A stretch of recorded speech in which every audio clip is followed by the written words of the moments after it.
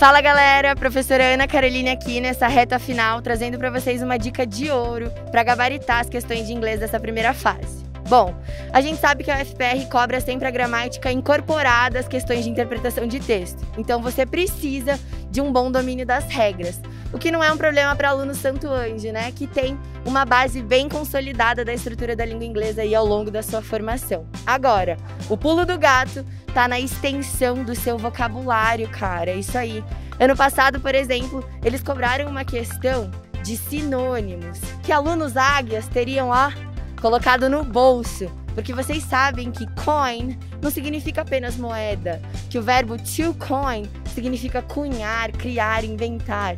Então vocês sabem, por exemplo, que house não significa apenas casa. Vocês sabem que pet não é só o bichinho de estimação. Então lembra disso na hora de interpretar esses textos, fica ligado nos diferentes possíveis contextos de uso do que parece ser a mesma palavra.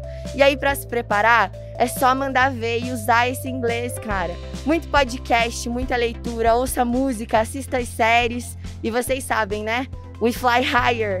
Até mais.